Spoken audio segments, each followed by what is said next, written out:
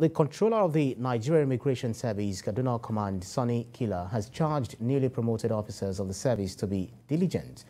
Mr. Kila tasked the officers to be more determined, focused, and put in their best to the service in the interest of the nation.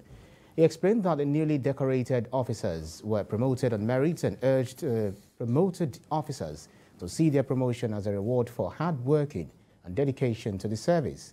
The comptroller said that it's not going to be, a bus uh, be business as usual as part of Nigerian migration to secure the borders. For you to be promoted is not easy. Therefore, you must extend same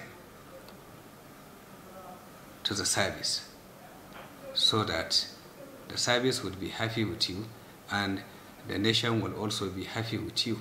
And if you've on the road for the first two, three, four, five days, you see my voice all over, you see officers all over, trying to check the infiltration of illegal migrants. We have to do it. We have to protect the country. We cannot do anything less.